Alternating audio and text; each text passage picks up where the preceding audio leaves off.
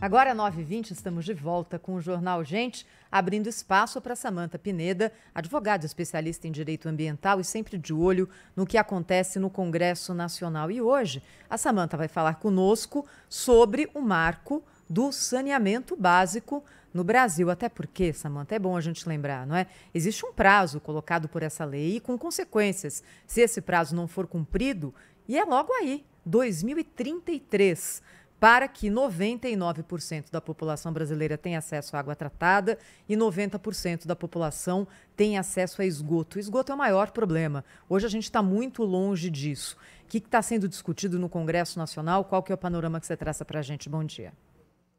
Bom dia, Thaís. É gravíssima a situação do Brasil, né? Beira aí a comparação com países subdesenvolvidos.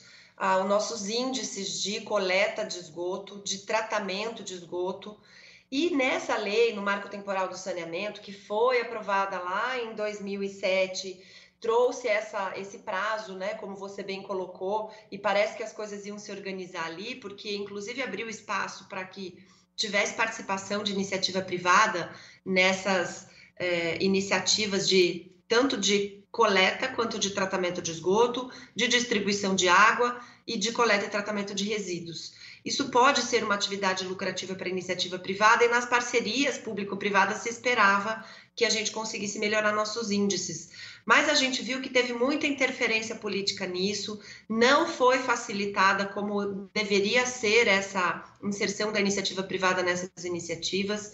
Pelo contrário, né, teve alargamento de prazos e etc. E no ano passado teve um decreto destinando 120 milhões de reais para esse para essa proposta aí, 120 bilhões de reais. O que, que a gente é, precisa olhar aqui agora? É, desse prazo que foi dado até 2033, como você bem falou, Thaís, para que tivéssemos universalização de, de, acesso à água. Gente, toda vida que a gente entra no chuveiro, que a gente abre a, a torneira para cozinhar, a gente acaba não pensando nisso. Mas os índices que foram revelados, e aí ontem teve uma reunião de acompanhamento porque a lei também prevê o acompanhamento para que a gente chegue a esse número, nós temos que nas cidades, pelo menos, 84% das pessoas têm acesso à água tratada. Mas aí você pensa que, ao contrário, tem mais de 10% de uma população de 200 milhões de pessoas aqui no Brasil, e aí a gente está falando de muita gente que não consegue abrir a torneira, que não consegue ir ao banheiro, né? Nem, nem para ter a água, o acesso a essa água tratada. Vai buscar água em algum lugar para beber. Então é muito triste isso. Quando a gente fala de esgoto, fica péssimo, né? Nós temos a coleta atinge pouco mais da metade. Coleta. Não estamos falando de tratamento. O número que trouxeram ontem foi de 58% de acesso da população à coleta de esgoto.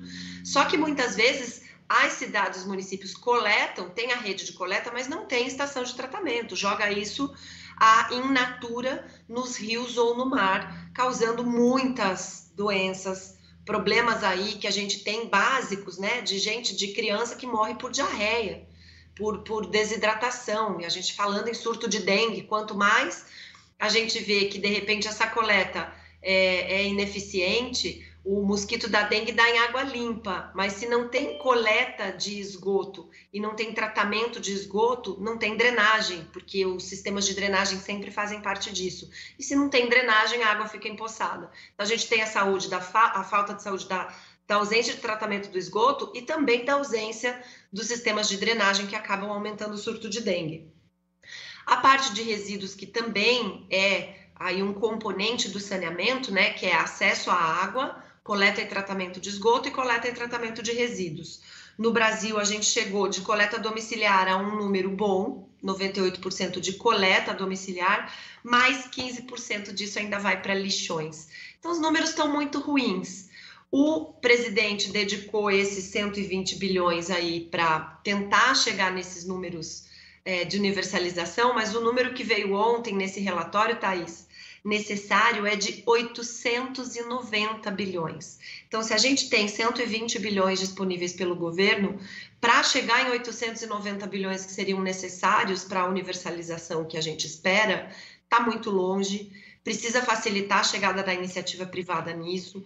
A gente precisa entender que o Estado não deu conta Nós temos aí mais de 520 anos, o Estado não deu conta. A gente precisa começar a pensar, embora esse governo não seja muito adepto a isso, em sim intervenção de iniciativa privada para que a gente consiga melhorar esses números. E vou deixar vocês falarem, mas no, quando a gente vê isso regionalmente é, é, é muito mais gritante, né? Sudeste, por exemplo, tem um índice que se aproxima aí de 70%, 80%, e quando vai para o norte, às vezes a gente tem menos de 20% de coleta e tratamento de esgoto. É lamentável o estado do Brasil. Idade média, Sam... né, Samanta? Como diria o nosso sábio Joelmir Betting. Exatamente, idade média. Samanta, é, a situação só piora, né? Porque, é assim, por razões até ideológicas, por vingança pessoal, por uma série de fatores, até por ignorância também, a equipe econômica tem perseguindo, né, aumentando de maneira desenfreada é, impostos e tá, criando taxações em cima de taxações, etc. Tudo para punir quem produz é, no país. Né? E agora, como a estupidez não tem limites, né, é, tem uma decisão recente que, que é espantosa. Né? Você está falando aí da necessidade de aporte, de investimento de, de dinheiro privado é, na infraestrutura, que é basicamente isso, né? porque afinal de contas o marco de saneamento é, diz respeito a, a, uma área importantíssima da infraestrutura do país. E o Brasil e o governo acaba de taxar investimentos em infraestrutura, investimentos privados em infraestrutura. Ou seja, não vem que não tem. Né? Ou seja, o, o governo deixa muito claro que não tem o menor, a menor intenção de, de superar esse, esse déficit ou essa, a necessidade desses 800 e tantos bilhões de reais, punindo o cidadão ou a empresa ou sei lá o fundo o fundo de investimentos que queira investir em debentures por exemplo de infraestrutura porque o que antes era é, os ganhos né, do investimento eram isentos de imposto, de imposto de renda, agora são taxados. Ou seja, desestimula o investimento em infraestrutura. Você é, né? percebe isso, essa, essa má vontade do governo em relação a dinheiro, a, a investimento privado? Eu percebo aqui na discussão que a gente está tendo sobre desoneração da folha, onde ficou muito claro a vontade, né, o, o, desejo da população de não onerar a folha naquelas atividades que mais geram emprego e renda, é, e que o governo bate de frente. Então, a gente teve essa discussão com o governo vetando a desoneração, o Congresso derrubando isso, o presidente se negou a, a promulgar a lei, o Congresso promulgou a lei, e aí, na, no apagar das luzes, o, o governo veio com uma medida provisória. Então, a gente percebe uma sede de arrecadação. É, é, irracional do ponto de vista de não ter estratégia para fazer com que o Brasil progrida.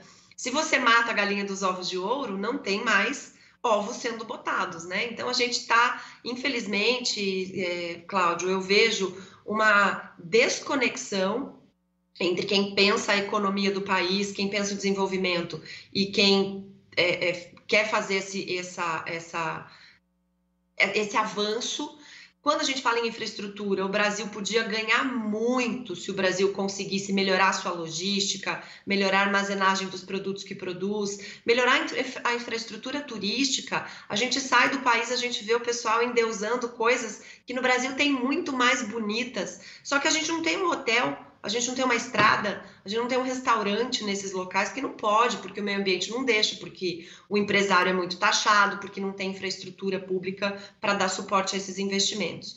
E a gente, né, em 2024, nós pensamos que isso podia se modernizar, mas é o que você falou, parece que a gente está andando para trás, dá um passo para frente e dois para trás. Quando eu falo de saneamento básico, é muito triste, porque a gente vê o sujeito dentro da sua casa no computador ou no celular brigando pelo desmatamento da Amazônia e quando ele dá descarga, o, o resíduo está indo ali para o rio da frente da casa dele, ele não vê. Então a gente não tem nem a educação. E aí vou emendar aí o que foi esse esse plano, né, que pretendia virar o Plano Nacional de Educação, onde não tinha nenhuma base educacional para a pessoa ter senso crítico e entender o que está acontecendo no seu país. Então, como cidadã, eu estou realmente preocupada, viu?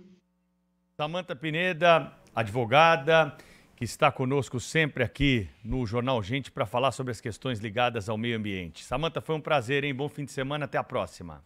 Obrigada, um grande beijo para vocês. Pedro, tchau, Sônia, um beijo.